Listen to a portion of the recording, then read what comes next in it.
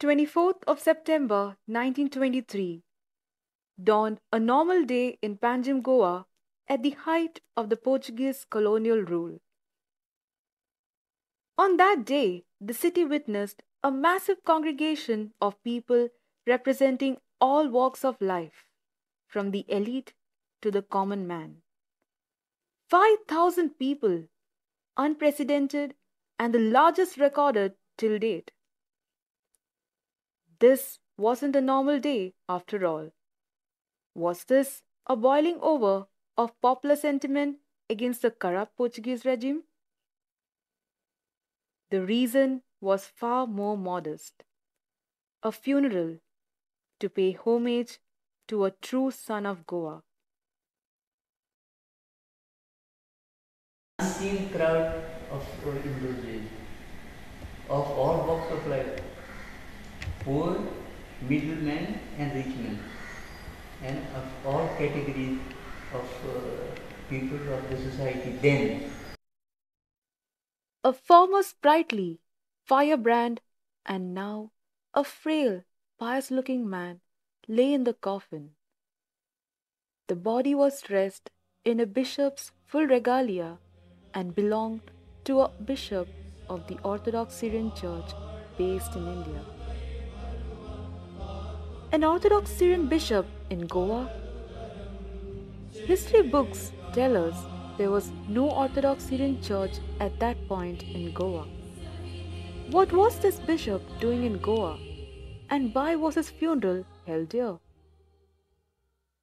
This is the story of Bishop Mar Alvares Julius. A story of a devout priest, a powerful orator, an agriculturist, a social crusader, educator, philanthropist, a rebel, an outcast. It's also the story of a forgotten saint. Father Alvares was a nationalist. He wanted uh, uh, well-being of the uh, population of, uh, of Goa, of his people, and uh, their, their economic uh, uh, economy to be improved. You understand? Therefore, he even suggested to the people that to cultivate mandioca because he has expressed that even in one hectare of uh, uh, of, um, uh, of of land, mandioca would yield so much, much more than what paddy would give. He was a also a journalist. He had his own printing press and he used to publish many newspapers. Just off Panjim and across the scenic Mandovi River, atop a small hillock, lies the Orthodox Syrian Church built in 1973.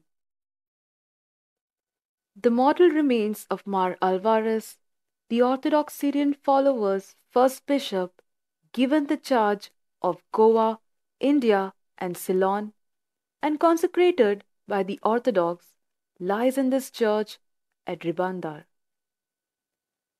And for many devotees, common people, and citizens, Bishop Mar Alvares, also known as Padre Alvares, is more than a bishop. He is a saint. He indeed played many roles to help his people and his faith. Here's the story of Bishop Mar Alvares. To understand this forgotten saint's past and establish his lineage, we have to travel down to Verna, a prominent village in South Goa. Verna of today is Goa's largest industrial area and hosts renowned electronics, IT, and pharmaceutical companies.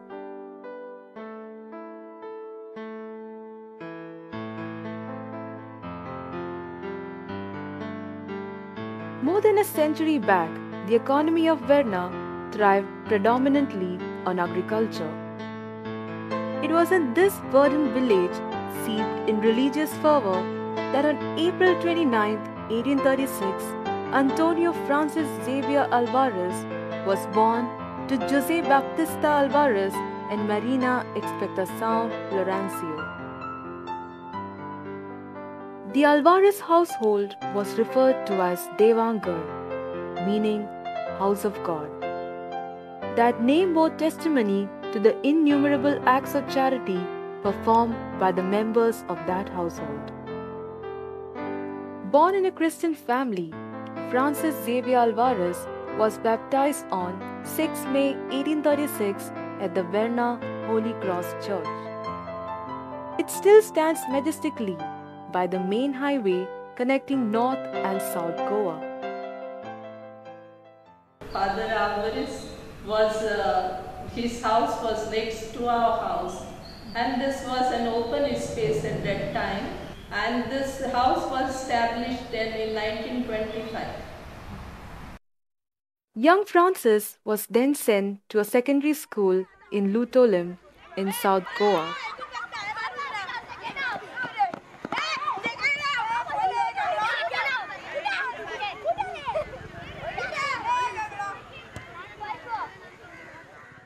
After his secondary education, Francis spent the next six years from 1853 to 1859 at the Rachol Seminary in South Goa in preparation for his priesthood.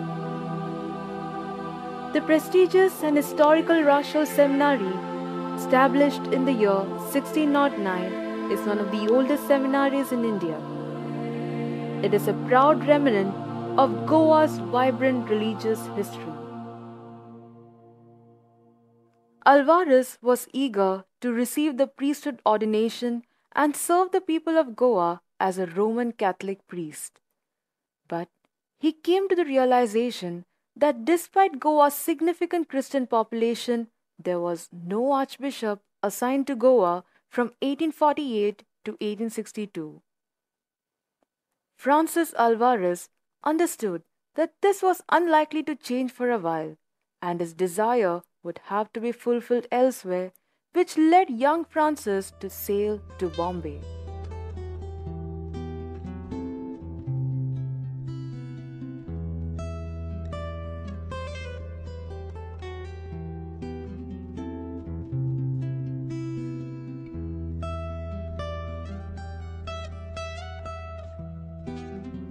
In Bombay, Francis Alvares joined the Collegio de Jesuit at Mazagaon, Bombay, an important trading and administrative metropolis of British India in that era. Collegio de Jesuit School was started with blessings from Bishop Hartmann of Bombay. Francis hoped and believed that Bishop Hartmann would ordain him as a priest. After joining the Collegio de Jesuit, Francis was ordained a priest in 1862 by Bishop Walter Steins of Bombay. For the next five years, Father Francis Antonio Xavier Alvares faithfully served the church.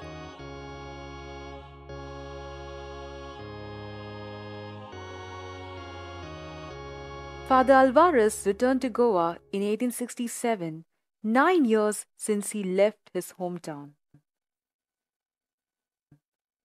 Till 1871, his work was chiefly confined to the church ministry and the apostleship of charity.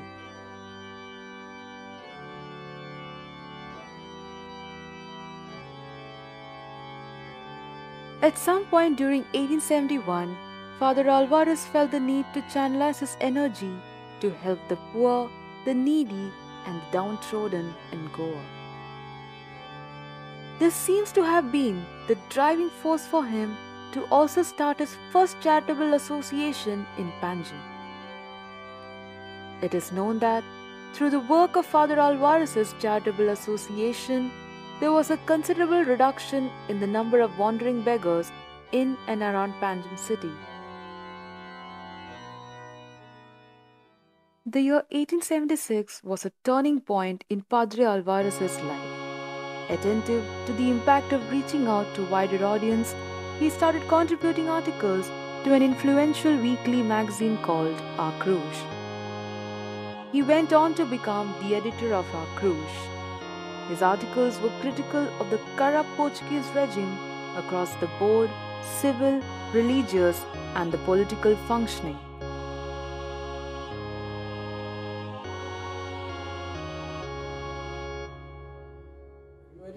Julius Metropolitan was a great educationist. In the name of Mary and Jesus, a school was started. That was in 1877.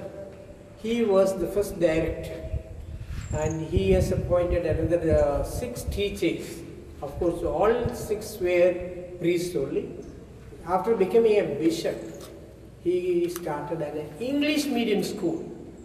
Though he taught Portuguese, Latin, French, English, and all, he was so much considering to the mother tongue. He, in his books and other things, he was telling the parents, uh, students, at least at the early stage, their primary education, they should study Konkani. The year 1876 recorded the deadly cholera, reaching epidemic proportions in Goa. He used to assist all the uh, sick people, especially when they had uh, cholera, uh, smallpox, and pest, which is Plague.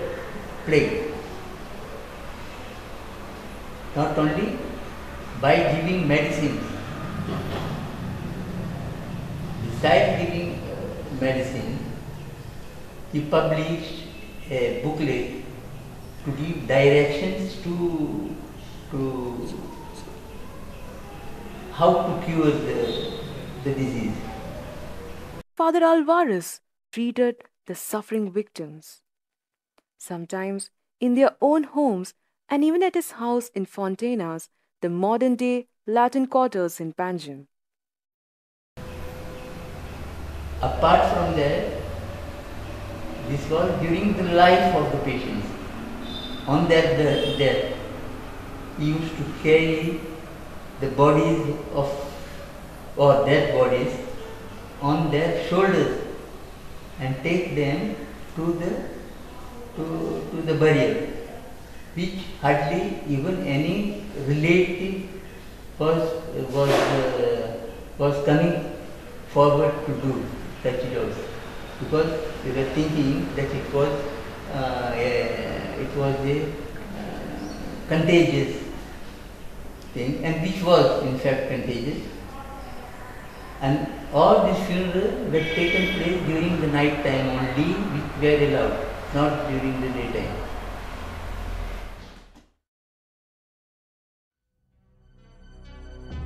This was also a time of deep rooted conflict within the church on account of the twin missions, Padroado Real, which meant the crown patronage of the church, and the Propaganda Fide, which meant propagation of faith. These two missions supported an understanding between the Holy See and the colonial rulers in regards to matters of religion and administration.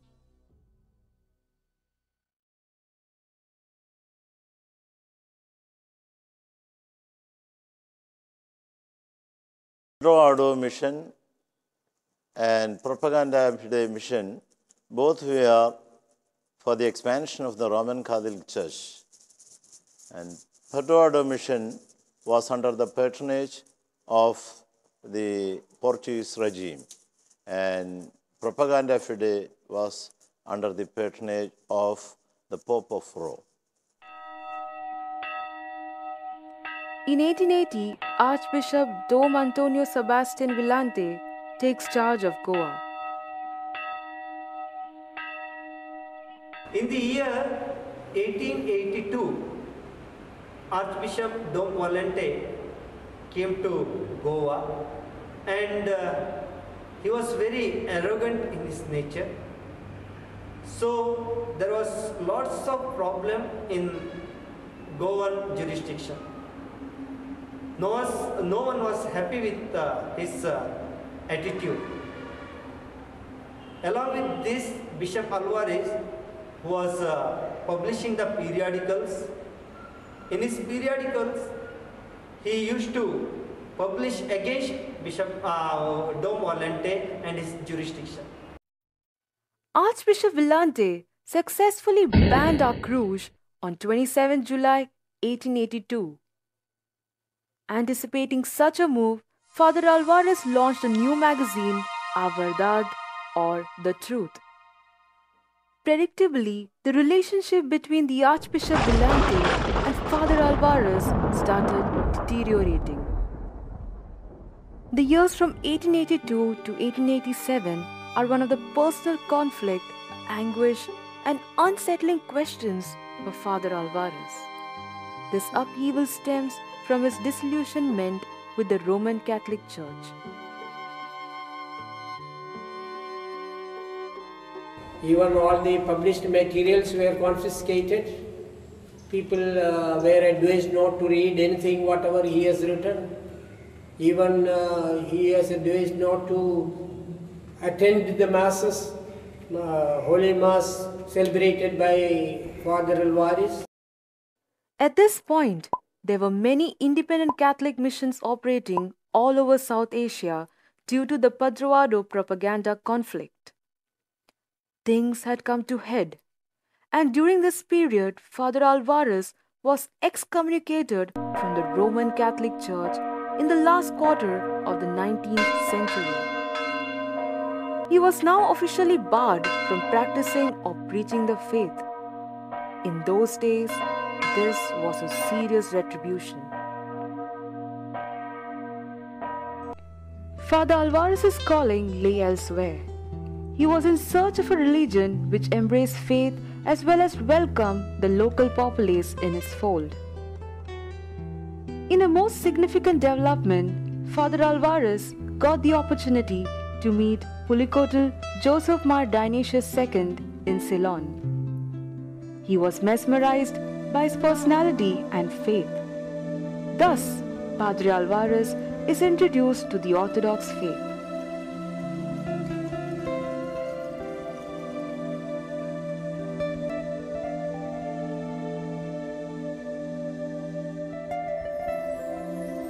Ever the perfectionist, Father Francis Alvares immersed himself in studying the Orthodox faith in depth and officially joined Orthodox Syrian Church in 1887, a watershed event in his life. Father Alvares continued his mission to spread the faith across Ceylon. He spent two years nurturing the Church of Our Lady of Good Death and other churches which he had helped establish in Ceylon.